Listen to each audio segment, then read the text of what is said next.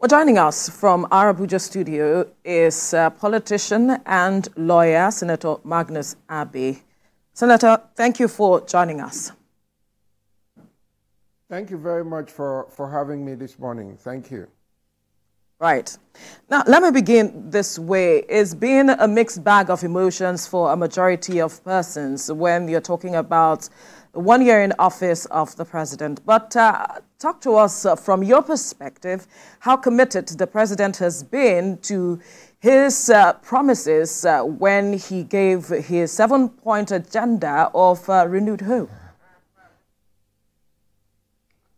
Well, first of all, let me, let me congratulate the president and congratulate all Nigerians for another landmark achievement for all of us as a nation,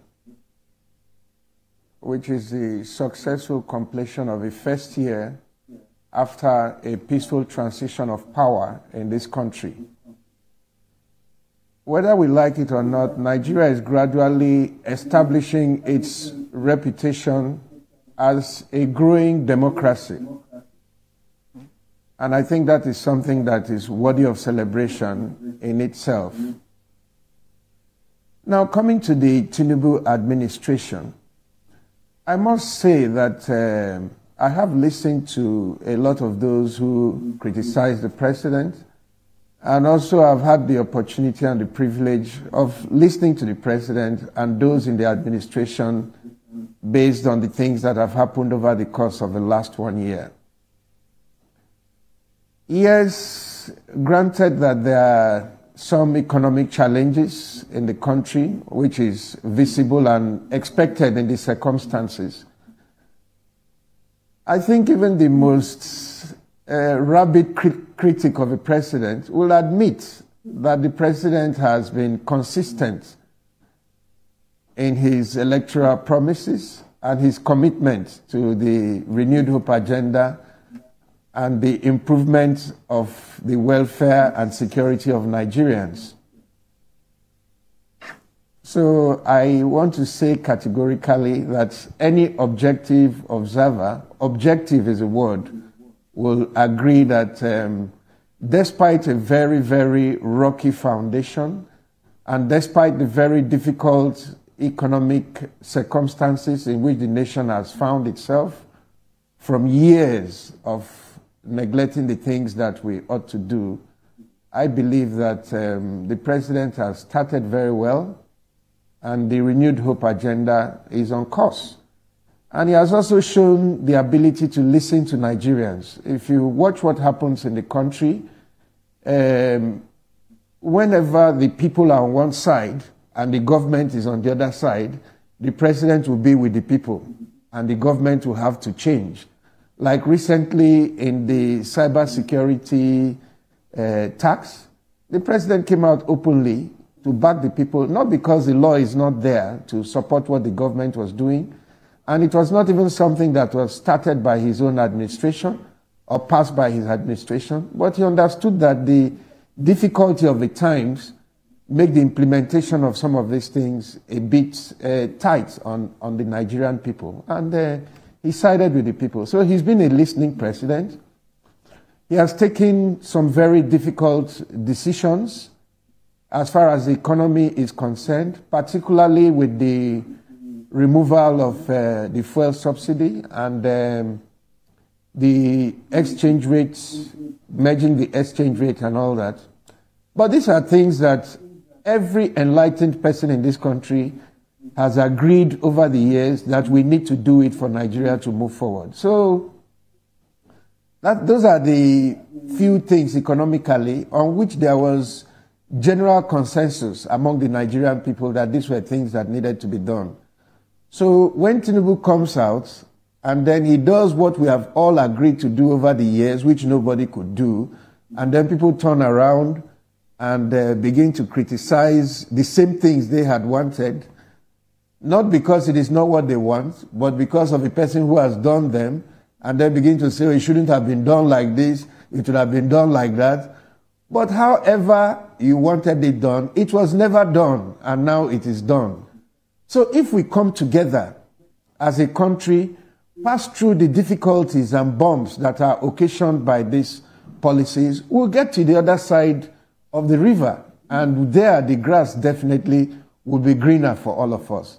So instead of wasting time arguing over how, how it was done or who did it, why don't we embrace the thing that we know that will help the country and do our best to see how we make the best of it so that the country can move forward for the benefit of all Nigerians. Tinubu is just here to pilot the affairs of the country for this time, but this country is our own and it will continue to be our own. Yes, uh, um, Magnus, it's, uh, it's, a very interesting thing that you have said about the, the reactions to the uh, removal of fuel subsidy and the uh, collapsing of the uh, foreign exchange regimes and all of that, and that everybody agreed, including the two major opposition parties, the Labour and, uh, and the PDP, that this was going to be done.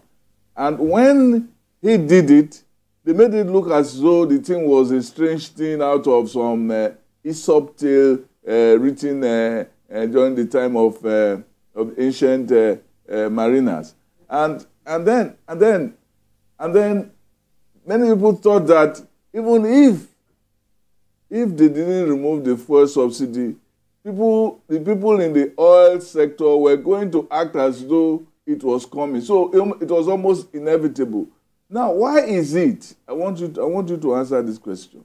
Why is it that some people have made it their career in this past one year just to cripple the president and his actions? That that, that, that, that we have not had this kind of din, this kind of rubub in our history till now speak to this level of hate. Do you think that we are living, we are, we are in a war with, Sam, another, it, it, with another people? Yeah. No, no, no, that's not true, Sam. I want to disagree with you. It's, it's normal, it's politics. You know, while you are looking at the issues of governance, but politicians are already looking at the next election. How are they going to win it? How are they going to discredit the government? It's always been that way. You remember at the time when Jonathan was president, Jonathan said he is the most abused president in the history of Nigeria. He was not.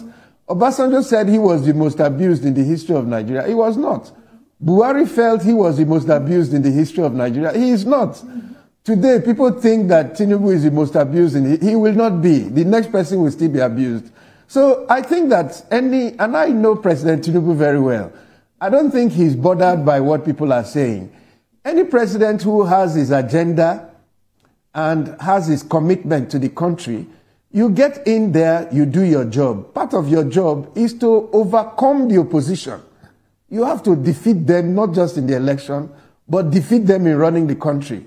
So if you're waiting for them to help you, you will not succeed. So I don't think that anybody who is listening to what uh, politicians are saying to try to make every. Okay, yesterday, let me give you an example. For years, we've been talking about the, the old national anthem. And then I was somewhere yesterday, they've trying to revert to the old national anthem. And somebody was saying, no, this is not the right time. I started laughing. So it does not matter what you do. Those who don't support you will not support anything that you do because if they say you're doing well, it means that there is no job for them. So criticizing what you do is their own job. That's how they create their own job and sustain the expectation of their supporters.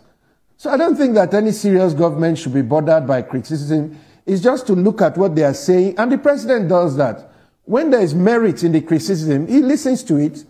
When it's politics, he comes out and says, okay, if you want to do politics, Come and wait for the next election. We are waiting for you. So I think the president understands very well that it's nothing personal. It's Nigerian politics. And our politics is unending. That's why if you're not careful, a lot of people don't achieve anything because they spend all the time focusing on the politics and the animosity in the system. And they forget governance. So if you look at some of the states where their focus is totally on politics. They've achieved nothing over the past one year. But if you look at the president, he has brought, rolled out his policies in every sector. He is working. If you come here to the FCT, you know, you'll be amazed at what is going on. If you look at what the, the works minister is doing, look at the launching of the coastal road, for example. People are criticizing the coastal road, but people forget that this was designed by N- NDDC almost 20 something years ago. But nobody could do anything about it. And today, the president has come out, despite all the talk and all that, he has rolled off the coastal road and people are still criticizing it.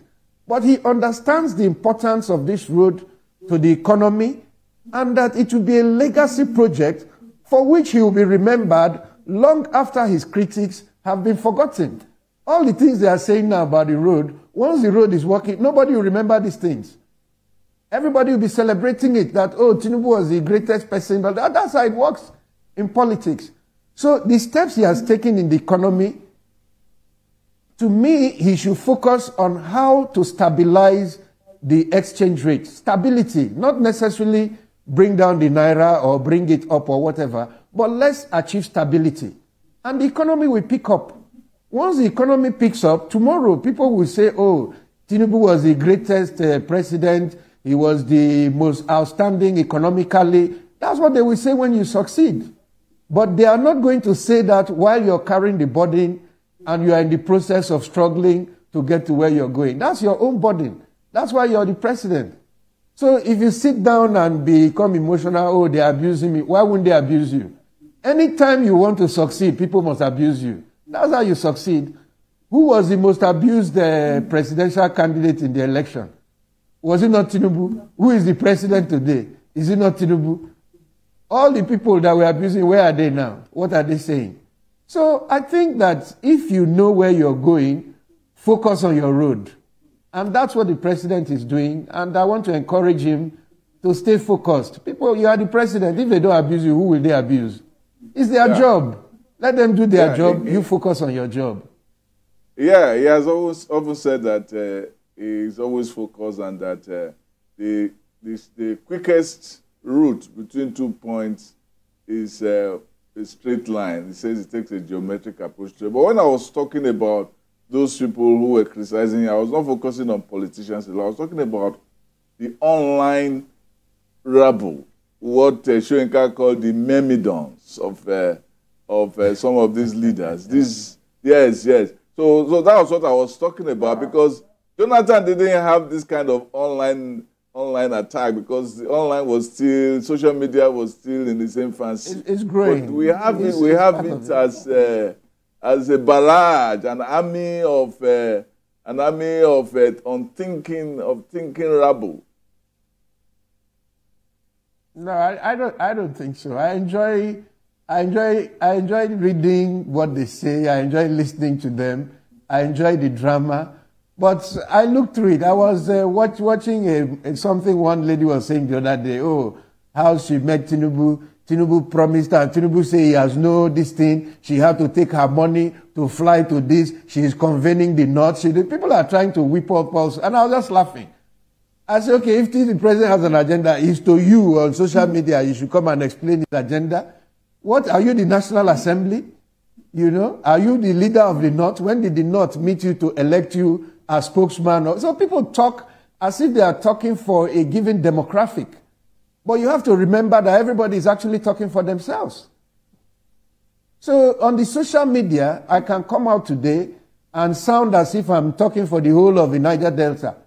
But the Niger Delta people did not at any time meet to elect me as their spokesperson. Neither can what I say represent all the views of the Niger Delta. So Reading social media, you have to read it with that understanding that yes, there could be a barrage from a certain group, but they don't necessarily speak for that demographic. Interesting. Uh, so we, we could see that um, the president is actually, he has, he has, actually inaugurated several projects. You know, he was in Lagos you know, just a few days ago, and then he, he said this is a time for him to brag.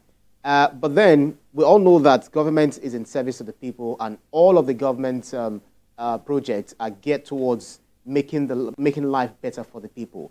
But one thing is, in your own view, do you think that this administration adequately consults the people before it embarks on some of these projects to ask whether this project is something that they also agree to and uh, of what benefits it would be for them.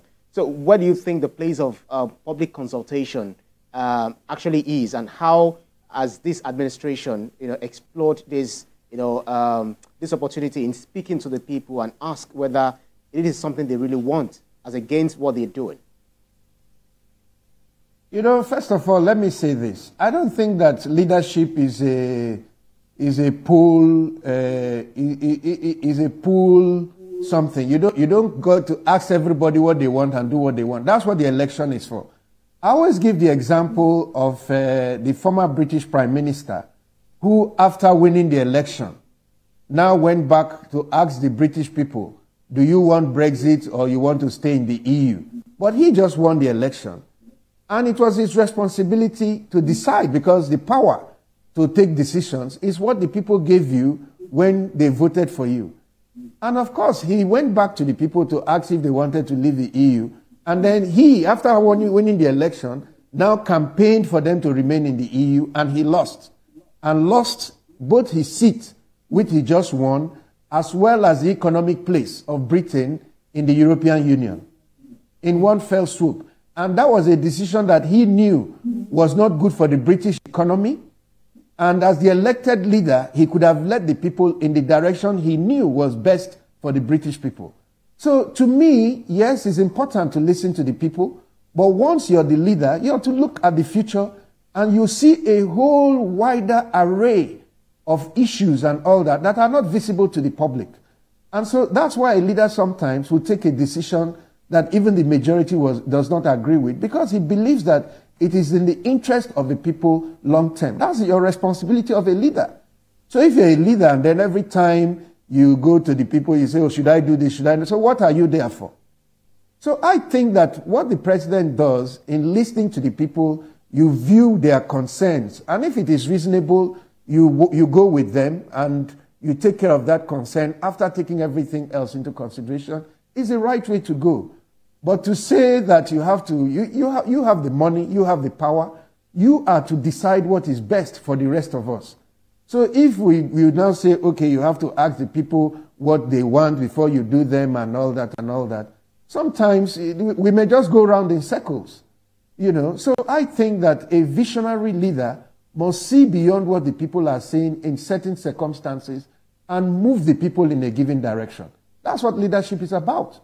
So if you look at the coastal road, for example, this was a road that right back from when NDDC started in the days of uh, Timi Alaibe in NDDC, they brought in Germans, they brought in all sorts of people and looked at this thing that this is what will link the economy of the south, south, and the south, southeast directly to, to Lagos. And this road is coming with a rail. This is a life changing economic opportunity for Nigeria. So if you start listening to all the side comments and all that, it won't get done. But once this road is done, you can get up in the morning, be in Lagos. By tomorrow morning, you finish what you're doing, you're back in Port Harcourt or in Aba. You can move your goods. You know, it expands, it doubles the size of the market in the country in one move. And it comes with a rail. So what are you listening to? I believe that the place of a leader, okay, today they are commissioning the, the Abuja light rail. I said, I must go there. Because any country that understands the importance of transportation in the lives of the ordinary people, you're already 10 miles ahead of your competition. So if you're living in Abuja and the rails are working, you can stay in a place where housing is cheap, but your job is far, and live the good life that you want because of the rail that can take you to your work and bring you back on time to come and meet your family. So all these things are things that leaders will do because they know that ultimately the interests of the people are better served by when you have a plan and you know that that plan is in their interest and you factored it into what you're doing. But if every time you want to do something, you say, oh, what are people saying? What are people not saying? Where are we going to go with that? So I believe that the president is a listening president. He's listening to the people. He has taken the long-term economic view for the country and he's working to achieve that. And um, reasonable Nigerians, I've seen them talking, they all support what he's doing. And uh, because they are not trolling the president or abusing him, if uh, Ngozi Okonjo-Iweala, for example, says something, nobody, it will not go viral. But if some uh, unknown person who does not even understand the world economy or something says something, then the next day is viral. They say, oh, uh, people are abusing the president. That's not the way it works. Reasonable people know those they should listen to, who understand what is going on, and uh, the direction we should be going. Interesting. Perhaps uh, another word might be that um, the government might need to look into strategic communication such that the people understand that whatever it is doing or project it is embarking on is in their best interest at the end of the day. But my next question to you is uh, the matters of the shocks the economy has witnessed and the dissatisfactions this has raised, especially when you look at uh, the NLC, organized labor, as it stands right now, uh, organized labor walked out on the conversation tripartite committee was having with regards to um, the matters of wage increment. Talk to us about how government is engaging uh, the organized labor with regards to ensuring that uh, there is that wage that reflects the economic situation we see now and the realities on the ground. let, let, let, let, me, let me shock you. I have never supported Nigerian labor. I don't believe that they are working for the working people. Just working for the press.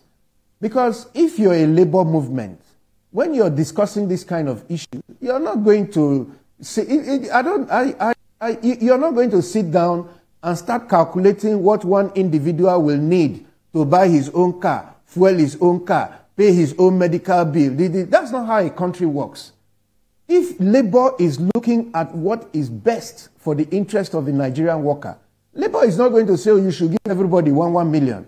Because anybody who understands economics knows that if you give everybody one, one million, the money will be useless to them. In less than a month, everything will be one million naira, and the one million naira will turn to 10 naira. So the people will suffer. So people who understand these things, when you go to go and negotiate with government, you don't talk as if you're going to, every individual will have to be his own government, must be funded by the government to be his own government. You engage the government on the needs of people. What do people need money for? People need money for medical care. People need money for transportation. People need money for housing. People need money for school fees. People, there are different reasons why people need money. If you live in London, the British government does not pay everybody enough to buy their own car, but they run an underground rail system that makes it dead cheap for everybody in London to be able to move around, whether you have a car or not. And they give concessions to the elderly, to students, to children. They have all sorts of rebates. So with just 30 pounds, you can move around London to everywhere you want to go for one month. You don't need to own a car. So if British Labour were going to go and negotiate with the British government, they say, no, pay everybody enough for them to have their own car, drive their own car, fuel their own car. How is that going to work? If people pool their resources together, you can get better transportation. Labour is not discussing education. It's not discussing how to revamp the schools. It's not discussing how housing for the Nigerian people. They are not putting up anything for mortgages and all that uh, for public housing. They are not discussing uh, public transportation. They are not discussing any of the things that the worker really needs to be an efficient worker. All they are focusing on is that give everybody money. What kind of uh, discussion is that? How will that help people? So if your focus is on the Nigerian worker, you should know what his problems are. What does he need? Money is a tool to achieve something. If you can achieve those things for which you need money, without having all the, the, the money, what, the, what is the, what, what, what, how can the, the civil servant in a, a proper uh, country where things are working be able to turn down bribes? But a civil servant in Nigeria cannot turn down any bribe. It's because even if you're an honest man in Nigeria, you must have money to pay for everything because the all government right. doesn't do the things it should do. So if Labour is serious about helping the Nigerian people, they should not just be talking about money. Give everybody money. Right. We know what that will cost. It will make the money useless. So they should engage okay. the government. How do we provide transportation? What are we doing about education for the Nigerian child? Blah, blah, blah, blah, blah. By the time you, you take out those concerns for the parents, and the people, and the, the people, they will do their work efficiently, even if they are not as, uh, as uh, rich right. Dangote, which we all cannot be. Okay, that's a fine place to leave this conversation. Senator Magnus Abbey, politician and lawyer. Thank you for your time on the program. Thank you very much. Right. We'll take a break. When we return, we'll continue our conversation. Stay with us.